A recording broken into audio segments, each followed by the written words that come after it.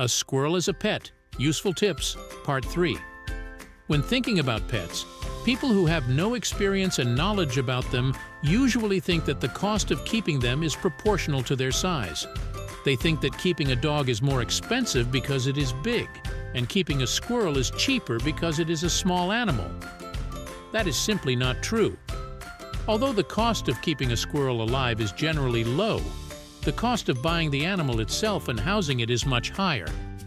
If the cost of a squirrel worries you, perhaps you should get a hamster instead. Before buying a striped squirrel, you need to prepare a housing in which you will place it. The next item on the list is food. In order for the dwelling to be suitable, it is necessary to equip it with appropriate equipment and toys. Here you can let your creativity run free, but it is recommended to buy everything in authorized pet shops. The animal should still be examined by a veterinarian so it is ready to become a new resident in your home. It is necessary to constantly buy new toys in order to avoid boredom and saturation of the pet. However, one cut tree branch can last the whole winter, and it's free. You can often find many treats for your squirrels, such as acorns, oak fruit, or dandelions in your own garden. Who should not have a striped squirrel?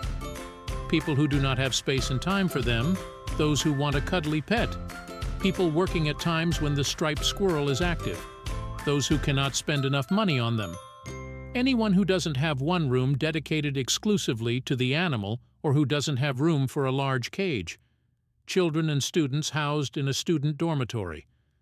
Striped squirrels are good pets because they are diurnal animals, awake during the day and sleep at night. They can become very tame and playful. They do not have a distinct smell unlike ferrets and climbers, which have well-developed scent glands, clean and groom themselves. They do not need special baths like, for example, chinchilla. They are relatively clean animals. They are very healthy animals, and as a species have only a few known diseases.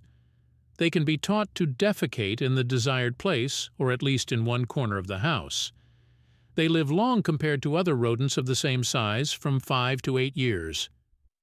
In conclusion, having squirrels as pets can be a lot of fun, but only if you have the time to care for them and give them proper care. If you give them your time and care, you will get a wonderful and beloved pet who will gladly come and sit on your shoulder.